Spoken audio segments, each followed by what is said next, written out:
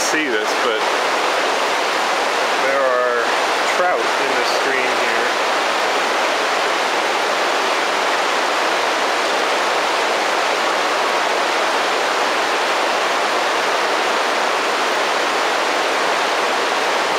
I don't know how close they'll let me get or not.